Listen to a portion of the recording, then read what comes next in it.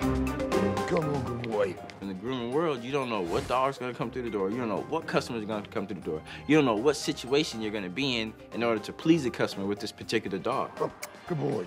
Come on, good boy. Come on. A second. Good boy. Yes, sir. Come with me. Hi. How are you? Here we go. Come on. When I saw Danny Bonaduce come in all sweaty and red, I said, oh crap. Cause you know, that guy's intense. I'm Danny. How are you? Oh, you gotta behave now, okay? Come on.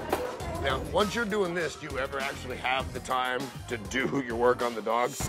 Mr. Bonaduce, he's a space cadet. He's like from the constellation Qzar, you know.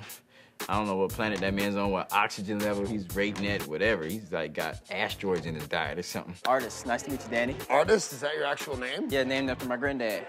Really? Look, my name is Artist, A-R-T-I-S-T, named after my granddad. Let's talk about your dog. What What do you know about art? What I know about dogs? Uh, I know that dogs. No, are- not about dogs. About art. About art? You know what I know about about art? Art is the expression of the heart that comes out through the hands. Art is the through the expression of the soul, of the mind, the body, and the spirit when it's one, and then you express it through the gifts that God gives you. And you're gonna do all that to my dog? Absolutely. I just want him brushed and fleed, man. Good morning. I'm Jonathan. Nice to meet you. Finding out a little bit of extra information about the customers, I thought might give me a little bit of an edge because I related something in my life to their dog. One of the customers had a pink dog, and it was a Maltese. I had a Maltese that I dyed pink. No, shut up. Pink is soft cotton candy, round. Love him. so cute. Look at you. How old is she? Gabby's two and a half years old, and she has one little attitude problem. Mm-hmm. She's not fond of being brushed. Well, And I have to use a toothbrush on her. really? A lot of times I don't even just hear their crazy demands. We just sort of work it into my way. I just say, well, that's what the doggy wanted. And that's always been my strategy. If the dog is happy, they're happy. I love you. Does the fact that you get to dress like a pirate, is that helpful in your business at all? That you just like, I can guess dress it's any way I working. want? Yeah, I can dress however I want, and people they don't judge a book by its cover, which is nice. Yar, shiver me timbers. Well, come on in. I'll give your dog a haircut. You want it tight? You want it long? We'll do whatever you want. We've got dog food. We've got toys. Yar. I am Jorge. Hi, I'm Sana. The lady with the Pomeranian was very funny. Her breasts were twice the size of each one of the dogs.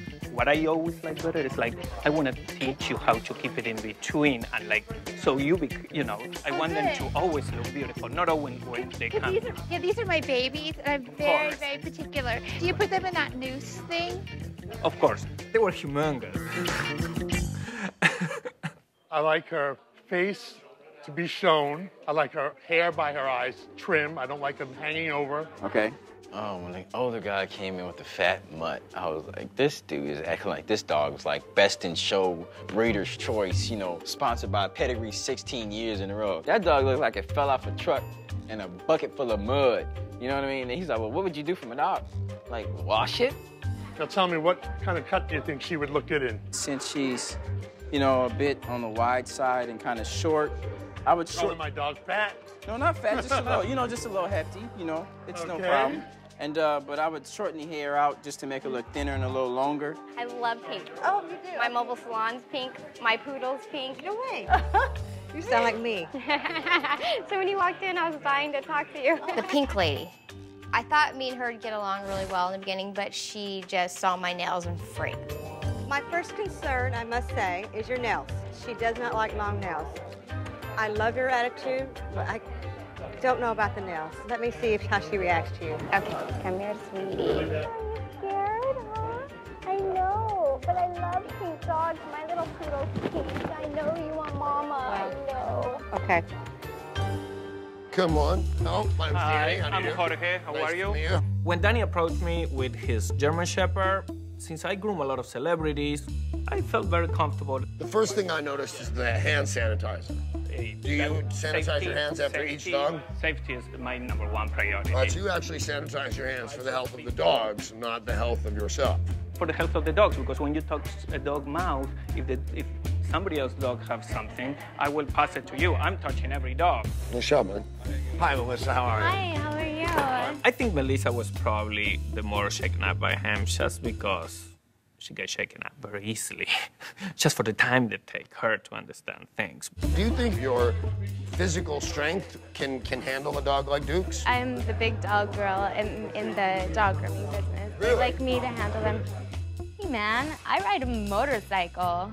A real motorcycle. Like a cruiser, you know? Like I'm not just any ordinary young or yeah, I'm young, but I'm not a a, a weak girl. I would show him toys just because these dogs.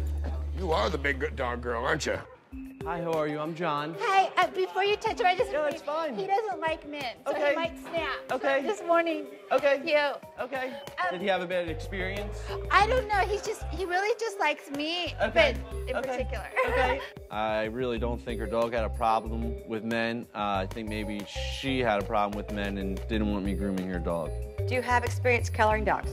Um, very little experience. Um, we don't run into too many uh, dogs that get color. Do you have animals? I do. I have three cats, a fish, and a bunny. Are you against real animals? No, I live in an apartment, and I think it's unfair to put a dog in a small, yardless place. Uh, that's a reasonable answer. I agree with you. I have two toy poodles. Do you ever put them in clothes?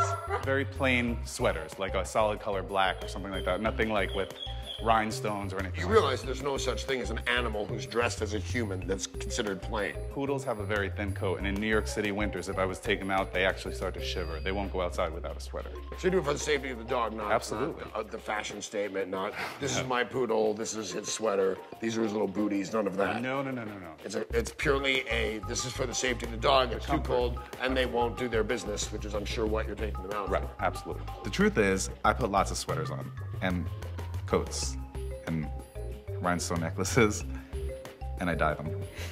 Okay. I told him what he wanted to hear because I wanted to win. What kind of collar would you put him in? He's a protection dog? Yes. Um, something tight fitting that people can't grab. Very smart. That's a good answer. Yeah. He seems to like you. That's a good start.